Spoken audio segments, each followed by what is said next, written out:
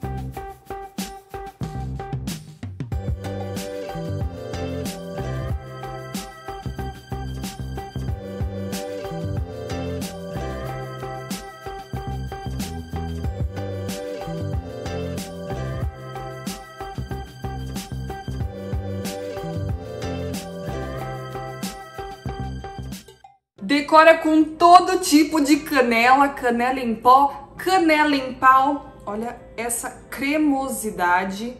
Enche de suspiro, enche com esse creme delicioso. Se você não tem o vinho do Porto, também pode utilizar o vinho Marsala. Eu já fiz uma sobremesa, o Zabaione, que vai esse vinho, por isso eu tinha o Marsala, então eu acabei usando dos dois jeitos, fica muito gostoso. Aliás, a sobremesa do Zabaione, que vai esse vinho Marsala, é delicioso. Vou deixar na descrição e do ladinho. E olha isso aqui.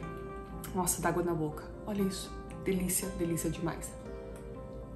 O leite evaporado, como o nome já diz, ele é evaporado, então ele perde um pouco a umidade e ele fica mais concentrado. Se você não tem, se é difícil de achar aonde você mora, você pode substituir por creme de leite, então a mesma quantidade do, de uma lata de leite condensado, por exemplo, você vai usar a de creme de leite. Ele tem mais gordura, mas também pode ser usado sem problema nenhum.